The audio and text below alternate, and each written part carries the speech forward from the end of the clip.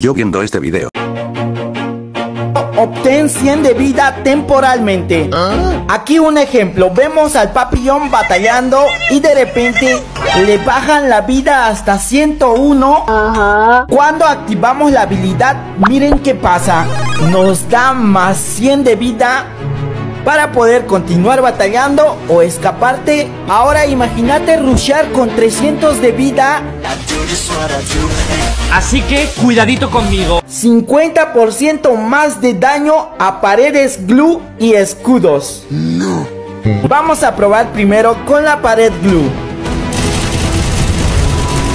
¿Ya vieron la diferencia chicos? Y eso que está en nivel 1. Ahora vamos a ver qué pasa con el escudo del bicho.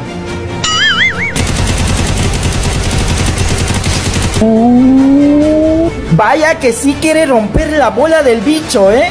Cocones. Déjenme saber en los comentarios qué tal les pareció la nueva habilidad del nuevo personaje.